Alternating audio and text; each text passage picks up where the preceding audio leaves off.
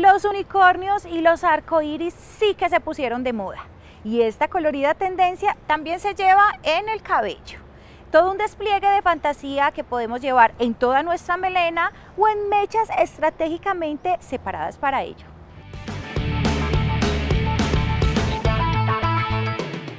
Hoy les tengo a la profesional. Ella es Cindy Gómez, colorista, y hoy nos va a enseñar el paso a paso de cómo lograr un cabello arcoíris, una tendencia que está boom. Y como en TM Rescate FEM amamos los colores, amamos la moda y amamos el diseño, le damos la bienvenida a Cindy. Bienvenida a TM Rescate FEM. Gracias. Para tinturar el cabello fantasía es necesario primero decolorarlo, es decir, debemos eliminar el pigmento natural del cabello, lograr un tono rubio claro o muy clarito para poder aplicar el color y depositarlo. Los tonos fantasía solo pegan o Pigmentan. pigmentan en, en tonos decolorados.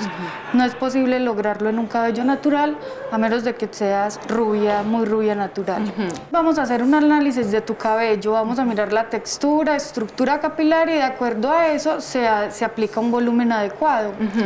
Hay diferentes tipos de oxidaciones, como 11 o 10. Y de esas vamos a intentar lograr una súper clara para que los colores pasteles te puedan pegar. Genial. Vamos a hacer un color, un mechón de colores pastel eh, debajo del cabello. Entonces vamos a empezar, Cindy, ¿te parece? Sí.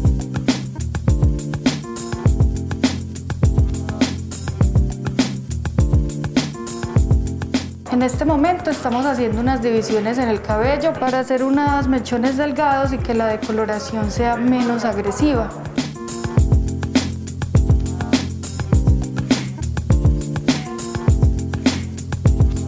Vamos a hacer la mezcla del decolorante y la oxigenta, que esto es lo que nos ayuda a quitar la melanina del cabello para que el color fantasía se pueda depositar en él. Todos los procesos de color maltratan en cierta forma, porque le quitamos la melanina al cabello, que es lo que hace que proteja la piel y se proteja también el cabello.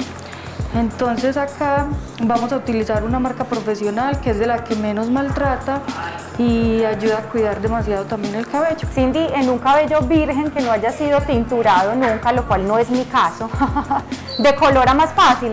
Para hacer estos colores se necesita un cabello saludable. Es más fácil de lograr en cabellos más claros, en cabellos más oscuros es un poquito más complicado. Y si el cabello está tinturado de negro rojo, el proceso sería diferente, es más lento, Ajá. se hace por sesiones y se escoge de colores oscuros y se va aclarando con el proceso cada dos meses o cada mes para poder lograr algo sin maltratar el cabello. Vamos a hacer pequeñas sesiones delgadas con el cabello, filitas delgadas para que esto facilite más la decoloración y aclare más rápido. Entonces también vamos a utilizar el papel aluminio porque nos produce más calor. Entonces al producir más calor hace que el proceso sea más rápido y no tengamos que dejar el cabello expuesto tantos minutos a la decoloración. ¿Cuántos, ¿Cuántos minutos se deja aplicado el decolorante? Hay personas que se les puede dejar menos, hay otras que se les puede dejar más, pero más o menos 40 minutos a una hora y esa vista, o sea que Revisando periódicamente. toca estar revisando, estirando el cabello.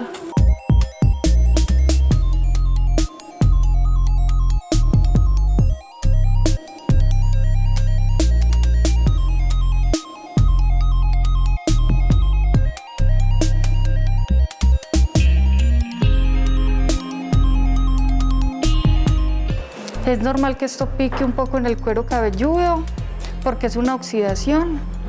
¿Cómo podemos cuidar un cabello decolorado? Primero lavarlo con agua fría o tibia. No lavar el cabello con agua caliente. No lavar el cabello con champú o champús que tengan sulfatos o sales. Se debe aplicar un tratamiento mascarilla para cabellos secos o procesados, que son como los que más hidratación aportan. Ajá. También se debe aplicar un aceite, eh, aceites en el cabello. extra vírgenes o naturales. Bueno, así quedó nuestra decoloración. La vamos a jugar y luego aplicamos los colores. Podemos observar que el cabello quedó en muy buen estado, no quedó tirante. Entonces vamos a pasar a lavar.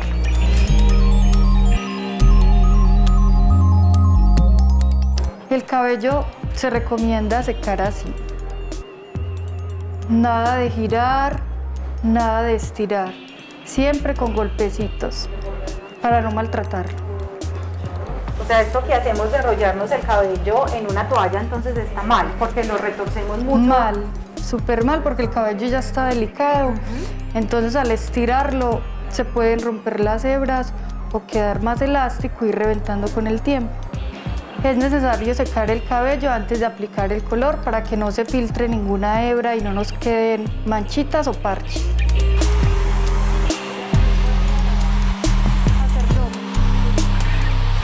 ¿Cuál es tu color preferido? Mi color preferido es el rosado y el azul. Acá vamos a pastelizar los colores.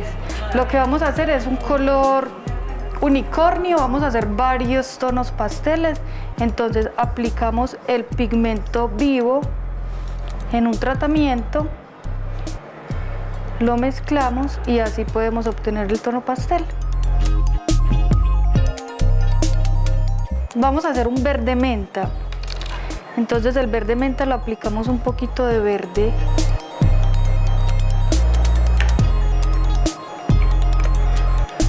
un poquito de turquesa. La ventaja de estos colores fantasía es que no tienen amoníaco ni peróxido y se puede aplicar cada, cada mes, cada 15 días, cada que quieras y no te va a maltratar. Lo que tú dices es muy cierto, cuando se van lavando van tomando como una tonalidad más pastel y cuando están más lavaditos puede uno cambiar por otro, o un azul por un verde, un rojo por un naranja, entonces eh, las posibilidades están ahí para divertirse y explorar con nuestra personalidad y nuestro cabello.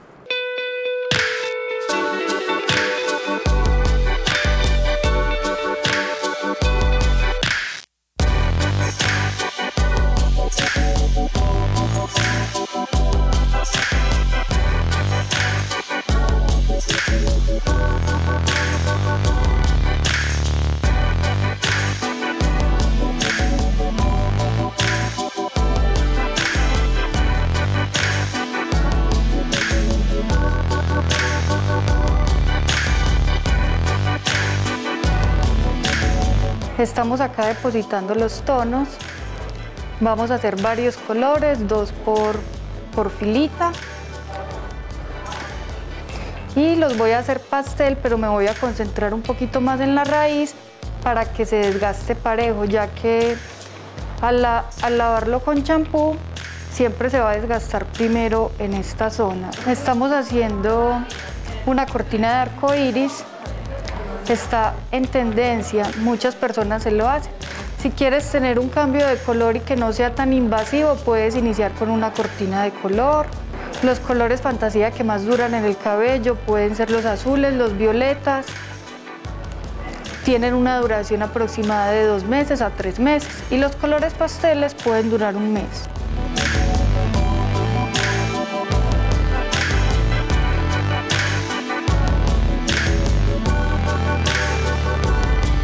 Después de haber aplicado los colores es necesario esperar aproximadamente 15-20 minutos.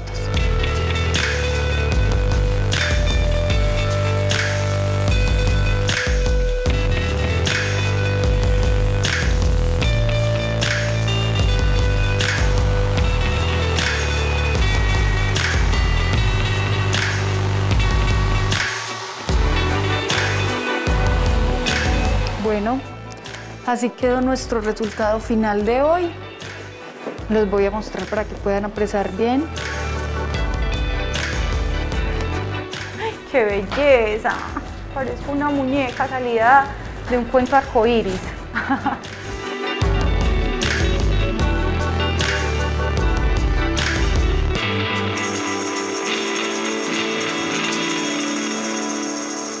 Mírame este pelo de unicornio, fue el que siempre soñé.